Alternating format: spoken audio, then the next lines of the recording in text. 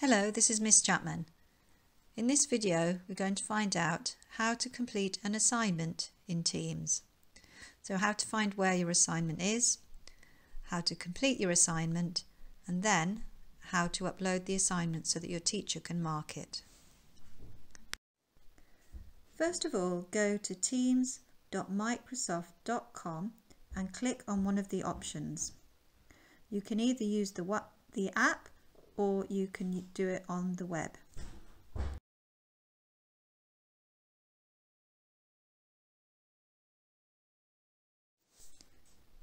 You will need to log in using your login details. If you don't have your login details anymore, you can get your parents to ring the school on 0121 464 5662 or they can email the school at enquiry at moorgreenacademy.org and then your teacher or somebody from the office can get in touch and remind you.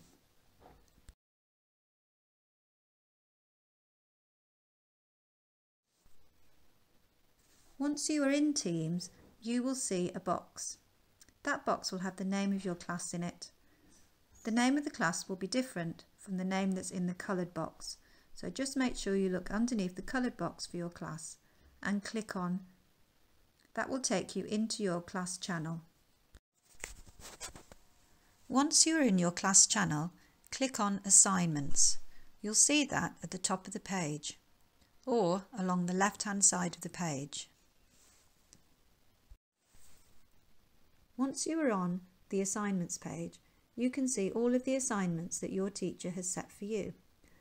Each assignment will also have the day and the time that the assignment is due to be finished by.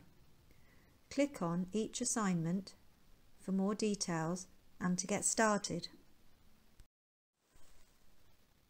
The assignment might be a quiz or a Word document for you to edit and finish. If it is a quiz, it will usually be multiple choice. So you're given a choice of three or more different answers. Simply click on the answer that you think is correct. If your assignment is a Word document, then you can open it and you can edit like you would on Word. So you can type in answers or highlight words that you think are the correct answer. You can respond in sentences or single words to lots of different types of questions.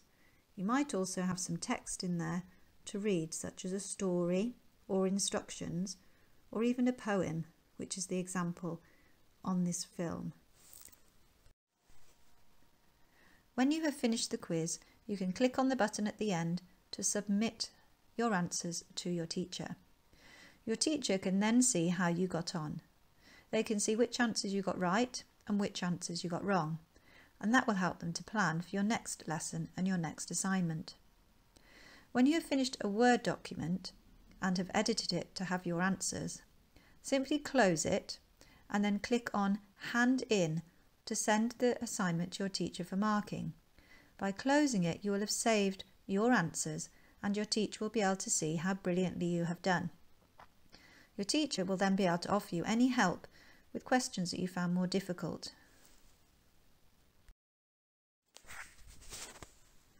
Always remember the internet rules of safety. Never share any personal information online. Never ask anybody to give you their phone number or address and never share your information with others. If there's something that you see online that makes you feel worried or uncomfortable, always tell an adult straight away.